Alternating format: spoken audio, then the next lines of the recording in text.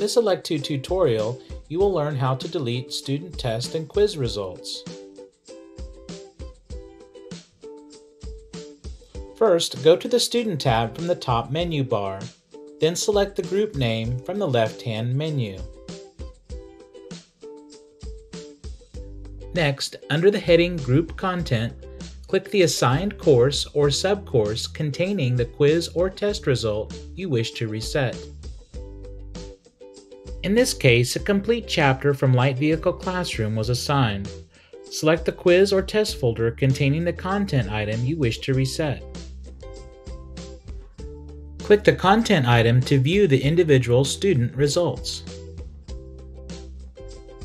From the results page, check the selection box to the left of the student names you wish to delete the results for.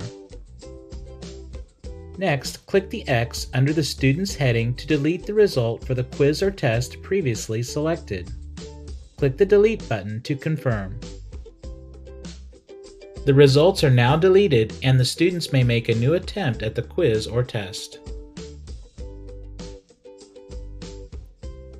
Please go to electude.com to view more training tutorials.